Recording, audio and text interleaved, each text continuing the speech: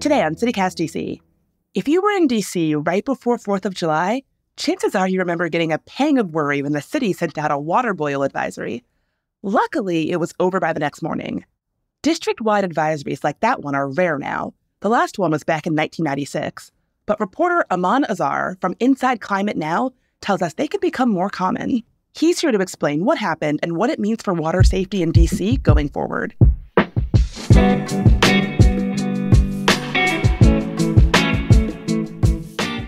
Today's Thursday, August 8th. I'm Bridget Todd, and here's what DC is talking about.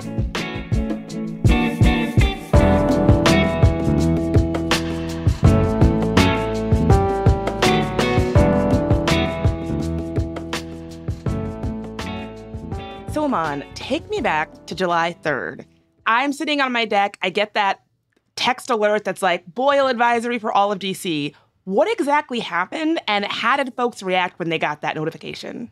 Yeah, so Bridget, uh, what happens is that just around 10, 10.30ish, this boil advisory came through. It, it flashed on people's screen as well. And it said that please, from this point on, boil your water for at least one minute. And it also alerted that if you've kind of bought anything like an ice or ice cream or something like that, which was like made after 9 p.m. on that day, throw it away.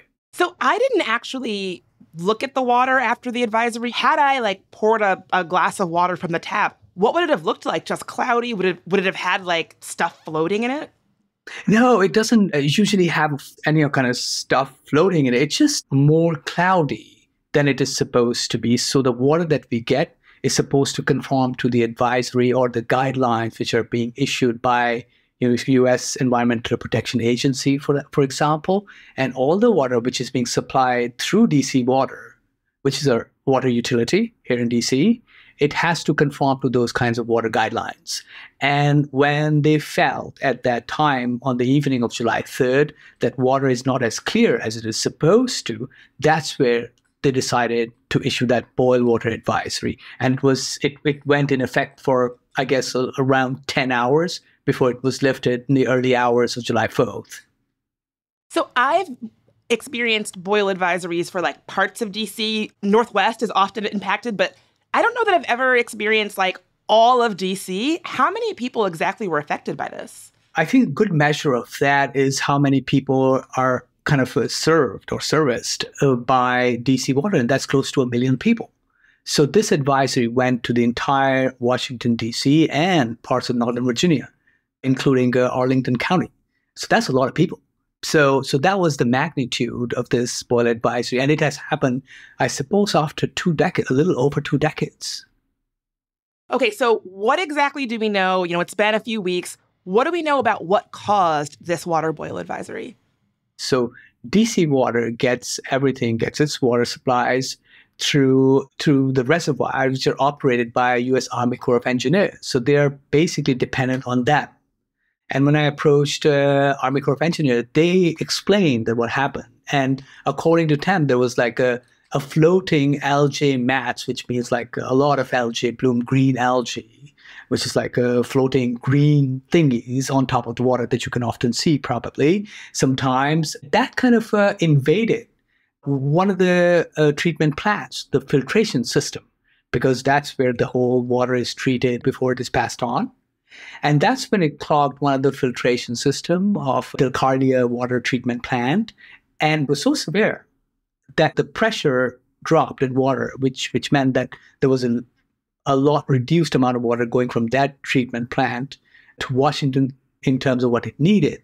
So then they had to shift because of that while they clear out all the filtration with different chemical compounds and whatnot they kind of shifted a lot of uh, their water treatment to McMillan treatment plant in Northwest DC to kind of ensure that there's enough water supply to go to District of Columbia just to meet their requirements. So this is what happened on that day. So what causes algae blooms in the first place? Algae blooms are fed by nutrients, and one of the important nutrients for that is nitrogen. And that comes from a variety of sources like sewer outfalls, typically. It also comes from a lot of uh, stormwater runoff. That's anything, the baddest of pollutants and contaminants that you can think of on our roads and highways and whatnot, when there is a lot of rain, everything washes and goes into rivers and tributaries because they, you know, they just pass through so much of a stormwater system. And somewhat sometimes because of uh, the climate change, we are getting a lot more rain, and it's beyond the capacity of our typical stormwater system, which were built decades ago. So it kind of a lot of it washes into directly into our uh, waterways and open waters. So that's with that goes the nitrogen and phosphorus, which uh, kind of contributes to this kind of uh, reaction, uh, and and then the sunlight comes in, and it kind of uh, whips up this uh, algae, which is called. In this case, it was a green algae, and and thankfully not a more toxic kind of algae, which is cyanobacteria. This might sound stupid. It sounds how it sounds. I've never really thought about the fact that when you walk around, all the different storm runoff and sewage and all that junk you see in the street, that's being like in our sewers, into our waterways. When you put it that way, I'm like, oh, that's not really that appealing to think about. Yeah, that's a that's a problem which is which is getting bigger because it's it's like a dog poop, for example. I'm sorry to say that, but anything that you can possibly think of that is on the roads makes its ways through our stormwater systems and go into open water. That's where it's supposed to be filtered and, you know, preserve a, a lot of bad things from going into our open waters, but it doesn't because that's the, one of the hardest thing to control. So that's one. The other big uh, source of nitrogen and phosphorus getting into our open waters, and in this case, we're talking about Chesapeake watershed, and where this happened was particularly a part of Potomac River. It's also fed by a lot of agricultural runoff because we put a lot of uh, intensive fertilizers for our crop harvest and whatnot. And when rain happens, it leaches into water and also runs off from the fields and into open water. So we have two basic uh, ways of these nutrients getting into the water, and they're, they're, that's one of the biggest challenges also for a lot of public agencies to control, and that's agricultural runoff and stormwater runoff. And that's what feeds directly into this nutrient problem, which causes these kinds of algae, and it's becoming bigger because of the warmer temperatures, because it's conducive to, you know, to these bacteria to come alive and multiply and whatnot. And on top of it, a lot of rain, which is again getting a lot of these nutrients directly from our agricultural farmlands and from our uh, highways and whatnot into the open waters. And it was particularly severe this time around to the point that when I asked DC Water, how severe was it? They told me that some of the employees who have been working at uh, DC Water for the last 40 years think that this year it was the most severe that they had seen in their entire experience. So, so this is probably now the kind of brew which is uh, giving us this kind of a nightmare. Is it because it's been so hot lately? Like, and I wonder, does that mean that we can sort of expect this to be a problem that just intensifies as climate change worsens? Environmental Protection Agency, when I kind of contacted them, they told me that climate change will lead to higher air temperature with a corresponding effect on, you know, water temperatures. This is this is how it happens. And then that kind of along with the runoff of nutrients kind of results in conditions which are favorable for algae blooms. So basically, if you put all these together, it's with changing climate, the harmful algae blooms will occur more often in fresh and marine water bodies and will be more intense. So this is exactly the kind of a thing that we're seeing now.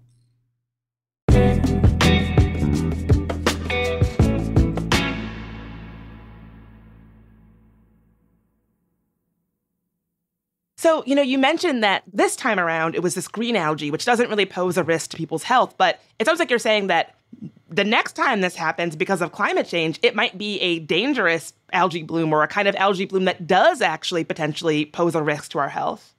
Well, this has happened before, Bridget. In 2014, there was a case in Toledo, uh, Ohio, where there was a much nastier toxin related to algae blooms, which happened a lot more people and a lot more intensity, and you cannot even issue a boil water advisory because that does not destroy that bacteria. So we have seen these kinds of you know episodes happening, and while uh, I'm no authority to say what's likely to happen next time around, what I can tell you is that in my uh, correspondence with the Centers for Disease Control specialists uh, and with the EPA specialists, they have a common view that because of the new emerging climatic and environmental conditions, there it will likely have more effect. And, and unless we stop the nutrients from entering watersheds and open waters, this will be a persisting problem. And the one probably which we just saw is just like one ominous sign of potentially things to come. How rare are these algae blooms? Like, is it common enough where there is a system in place or a protocol in place and that what happened on July 3rd just happened to be a particularly huge one? Or how does it typically work? It's a good question. Uh, algae blooms happen quite frequently. In fact, in Potomac, what I was told by one of the specialists from uh, University of Maryland's uh, Center for Environmental Studies was that this is traditionally what happens uh, a lot in Potomac River. So it, there's nothing out of the ordinary for blue-green algae to exist in in in water bodies like Chesapeake uh, watershed. But the intensity and the severity is something which is more problematic. And for that to happen, you have to have certain kind of uh, environmental conditions, which are now becoming more prevalent. So a lot of public agencies like the Maryland Department of the Environment, for example, which has a mandate to control, you know, or have measures in place which can reduce the the nutrients. And, and in this case, I'm talking about nitrogen, phosphorus, and sediments from entering into the bay waters then they're finding it extremely hard to control it. And on the federal level, it, the responsibility goes to the Environmental Protection Agency. But in a, a few of my interviews, they were quite categorical that these are non-point sources, which means that you cannot control a lot of them uh, in their experience. And that's been a persisting problem for 40 years now. So that being said, there are different ways that different public agencies are monitoring the situation. Uh, there's a collaboration between the EPA and NASA and U.S. Geological Survey, uh, so they can have a near real-time monitoring of concentration of particularly cyanobacteria, which is a very toxic form of the algae blooms, and and they have like cyanobacteria assessment network where you can actually monitor things and provide your input as well. But this interagency kind of uh, coordination is becoming increasingly important to kind of monitor and then come up with the right kind of strategies when the situation happens. There are a number of programs also run by the EPA, by the CDC, and other agencies to have those kinds of checklists of what to do when this happens. But the fact of the matter is that it did happen this time around to Washington, D.C., and that too on the eve of July 4th, when, you know, all the celebrations are about to kick in, where there's like particularly stressed time for you know activities related to fire suppression because of the National Mall and all the celebrations going on, people having a good time. So that's what makes it tricky and something to watch for in days ahead. Yeah, terrible, terrible timing. I read I read in your article that particularly around the July 4th holiday, historically people are using more water because of fireworks and, you know, what you needs you might have for firefighting and things like that. So definitely terrible timing with all the visitors coming in to see things like could not have been worse. You know, you mentioned that the treatment plant got clogged because of the volumes of blooms this July. Are they coming up with any kind of potential solutions to specifically resolve that aspect of the problem? Like I said, they do have checklists and, and different procedures uh, to kind of mitigate this kind of problem from actually taking place. They can move their in, you know, intake uh, from any place where they feel that there could be an intensive algae bloom outbreak for that matter. But again, despite that, it did happen and it clogged the filtration point enough for them to actually have a drop in the pressure and reduced kind of a water you know to provide to dc water at that time and it seems as though there's a there's a real risk and what about solutions for the root causes of these algae blooms, like particularly for the sewage pollution and all that dog poop that you were talking about in the water earlier? According to the Environmental Protection Agency, the first thing that you have to do is to reduce the organic materials from reaching rivers and lakes, which may aid in reducing the occurrence of such blooms. And what we've seen is that in the last 40 years, it's been challenging. So we're yet to see what happens next. Now, many public water system routinely do monitor their source water intake and, and kind of treat algae blooms near intakes, uh, you know, with a view to minimize impacts to their treatment plants and kind of to finish drinking water. So there are number of strategies for public water system and states to kind of routinely use these notification systems, share information about blooms and you know other water quality events and have procedures in place to address it. I think the only other thing is when it happens, what happens then? And we saw that actually, with all these procedures in place, sometimes these algae blooms are kind of still able to get into the treatment plants enough to kind of create this kind of a boil water advisory and, and, and, and a wider public health prompt. I know that DC mostly relies on one main water source. Does, is this something that makes us in DC like uniquely vulnerable to this kind of problem? Like, is that normal for most cities? You're right. I mean, we're, we're provided uh, by Washington Aqueduct, and that is managed by U.S. Army Corps of Engineers, who also operate the two um, treatment facilities. And uh, from what I understand is that uh, DC Water is probably the only uh, water utility which entirely relies on on a secondary source to provide them with water. And they do, they did say that in view of this particular incident they will be reviewing their own options and different procedures. So, what do you think DC residents should be keeping a lookout for when it comes to all this? I think one of the things was that when this happened, people kind of, there was a brief run in on the supermarkets and local grocery stores because people wanted to just lay their hands on whatever drinking water they can. And they did. I mean, different uh, supermarkets and stores uh, were almost, you know, they, people went out and, and got what they could. So aisles were emptied out in some ways. The good thing is that it lasted briefly, but a more a longer event of this nature would probably prompt a more challenging situation. Yeah, that's that's a good thing to highlight. I remember when we got the advisory, I was trying to remember like, well, when was the last time I filled this Brita? When was the last time I made this ice? Like you really start thinking about, you know, and it it just really prompt like I wasn't sure if anything in my kitchen or in my apartment was safe to drink because who knows what time the last time you filled that Brita from your tap was, you know? Absolutely, and and I think uh, one of the things probably which uh, a lot of uh, public agencies uh, and and public water systems will be watching is how the climate change or the warming temperatures are likely to impact this situation of this sort, and and what could be the possible consequence because that that's exactly where a lot of uh, future challenges would lie. Well, something to look forward to. Aman, thank you so much for being here. Thank you very much for having me.